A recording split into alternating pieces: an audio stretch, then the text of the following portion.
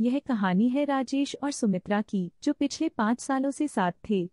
उनका संबंध प्यार और समर्पणा से भरा हुआ था।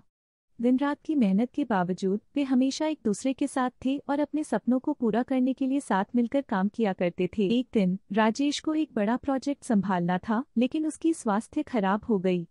सुमित्रा ने देखा कि वह थक गए और परेशान थे, लेकिन वे अपने काम में जुट रह रहे। सुमित्रा ने फिर से उनके प्यार और स्वास्थ्य की चिंता करने लगी।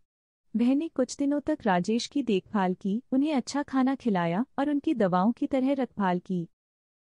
राजेश ने उसके प्यार और समर्पणा के लिए धन्यवाद कहा और समझ गए कि कभी कभी परिवार की सेहत और खुशियों के लिए समय निकालना भी महत्वपूर्ण होता है। उनकी इस प्रेम भरी कहानी ने उनके रिश्ते को और भी मज़बूत बना दिया। प्यार और समर्पणा हमारे रिश्तों को मज़बूत बनाते हैं और हमारे जीवन में खुशियाँ लाते हैं।